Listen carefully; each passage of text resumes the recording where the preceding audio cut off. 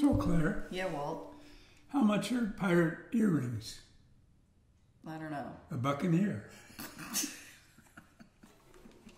So stupid.